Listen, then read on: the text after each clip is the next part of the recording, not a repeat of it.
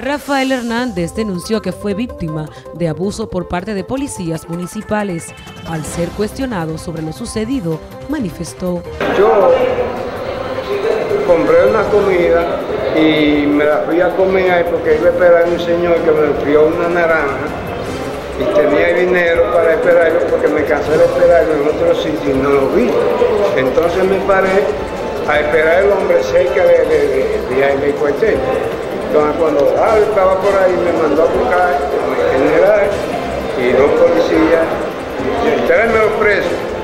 Cuatro, desde el sábado todavía no comí y yo sufro del azúcar, gracias a Dios.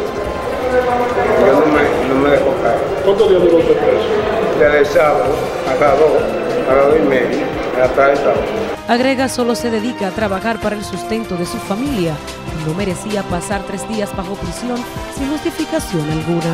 Que yo soy una persona que me ha mantenido con buen testimonio, que no anda hoy en lugares perversos.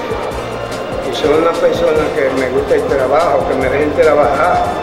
Porque no me puede prohibir a mí de que yo pase por un lugar que yo tenga que vender mi, mi naranja, Para NTN, su noticiero regional, Joanny Paulino.